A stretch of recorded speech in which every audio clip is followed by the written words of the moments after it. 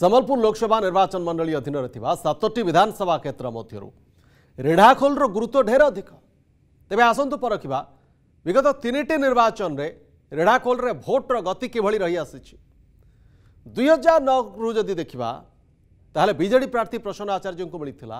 ସଇଁତିରିଶ ହଜାର ସାତଶହ ଅଠର ଖଣ୍ଡ ଭୋଟ୍ ପ୍ରାୟ ପଞ୍ଚତିରିଶ ପ୍ରତିଶତ ଭୋଟ୍ ପାଇଥିଲେ ପ୍ରସନ୍ନ ଆଚାର୍ଯ୍ୟ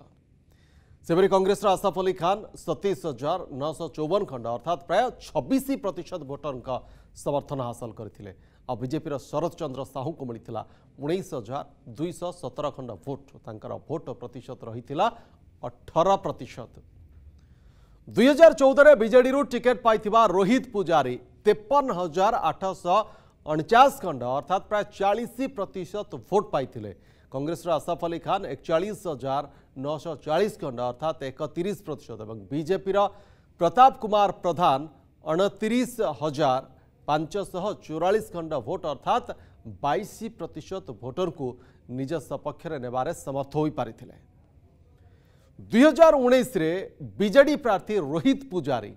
सतावन हजार शह एगार खंड भोट सह पखापाखि अठतीस प्रतिशत भोट पाई कांग्रेस टिकेट रे लड़ी आसाफ अली खान बयालीस हजार चारिश अनाशी खंड भोट पाई भोट प्रतिशत थी अठाईस प्रतिशत तेज बीजेपी रु प्रार्थी होता देवेन्द्र महापात्र अठाईस प्रतिशत अर्थात बयालीस हजार सतैश खंड भोट हासल करते जदि आपंक आम भिड्टे भल लगा तेब चेल्क लाइक सेयार और सब्सक्राइब करने को जमा भी भूलु ना